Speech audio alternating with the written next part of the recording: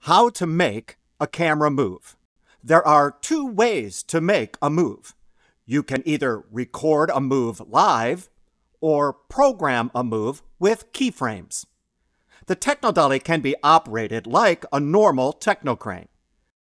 With the record button, the crane's movement can be recorded and then precisely repeated. We are now capturing this organic move of a live performance. To end the recording, simply press the same button. This move just created is now repeatable with precision. The monitor shows the first and last frame and the timeline of this recorded move. Now, for designing moves, simple or complex, use keyframing. Move the camera to the first position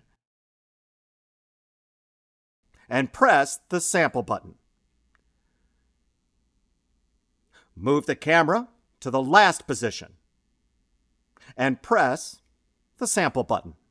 You now have a straight move from A to B.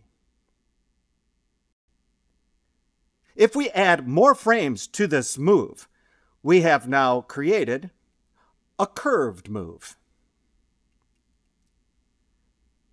There is no limit to the numbers of keyframes, and the number of frames needed depends on the length and complexity of your move.